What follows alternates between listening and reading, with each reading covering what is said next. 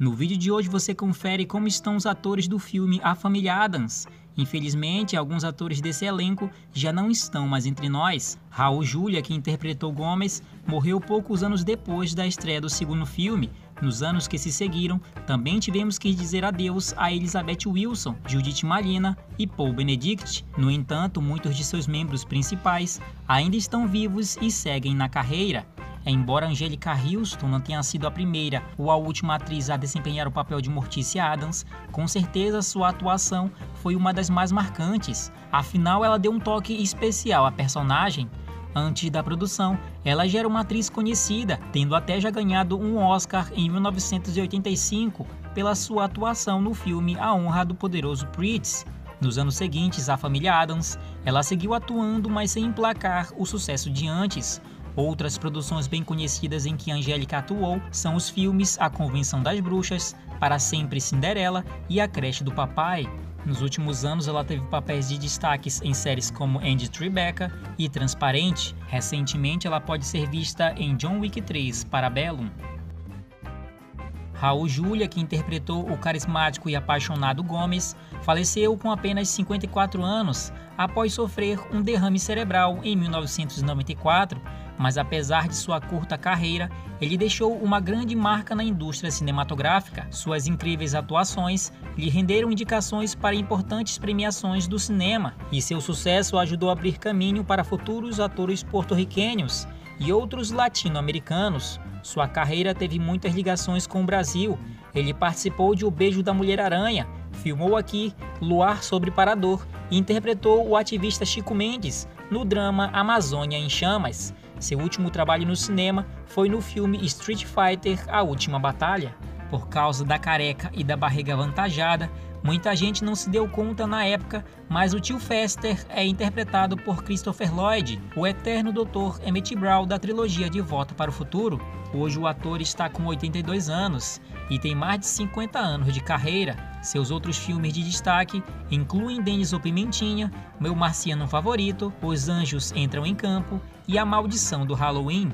Nos últimos anos, Christopher tem participado de muitos filmes, porém, a maioria de baixo orçamento. Em entrevista ao site Metro, ele já declarou que não se importa se o filme é de baixo orçamento ou não, o importante é que ele ama atuar. Mais recentemente, ele voltou a reprisar seu personagem em Dr. Brown Salva o Mundo, um curta lançado para celebrar o aniversário do primeiro filme da trilogia De Volta para o Futuro. Feioso foi interpretado pelo então ator infantil Jimmy Workman, que foi escalado como o filho de Gomes e Mortícia. Ele participou de alguns filmes depois de A Família Adams, mas desistiu de atuar no início dos anos 2000. Desde então, ele trabalha na parte técnica de alguns filmes e programas de TV.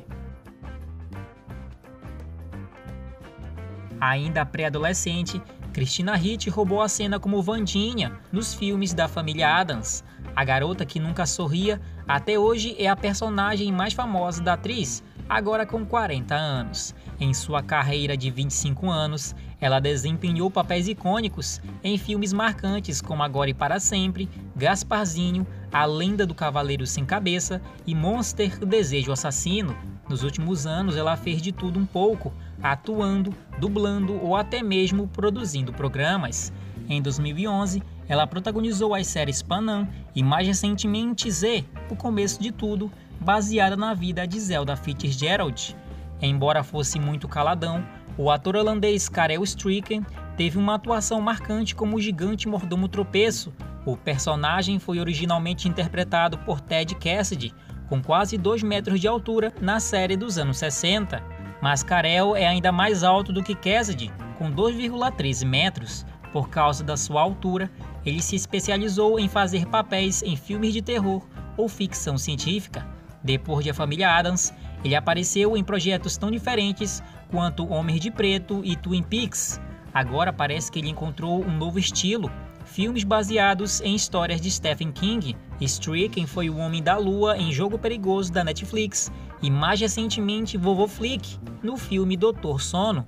Enquanto todos os personagens da família Adams são bizarros, o ator John Franklin teve um dos papéis mais estranhos. Ele interpretou o Primo It, completamente coberto de cabelos compridos. Ele começou a carreira como uma criança aterrorizante em Colheita Maldita, de 1984. Também teve pequenas participações em outros filmes de terror, como O Brinquedo Assassino e Piton, a Cobra Assassina. A sua última aparição nos cinemas foi em Hell's Kitchen, um filme sobre um gato demoníaco de 2018. O que seria a família Adam sem o Coisa? A mão desencarnada pode não ter tido nenhum tipo de diálogo, mas isso não quer dizer que ela não tivesse personalidade. Esse personagem em comum foi interpretado pelo mágico e ator Christopher Hart. Essa é a sua especialidade, ser dublê de mãos. O ator e mágico canadense só apareceu na telona com as mãos. A última vez foi em 1999, em um episódio da série Angel. A habilidade de Christopher Hart com as mãos continuou depois disso, porém com apresentações de mágica no Canadá.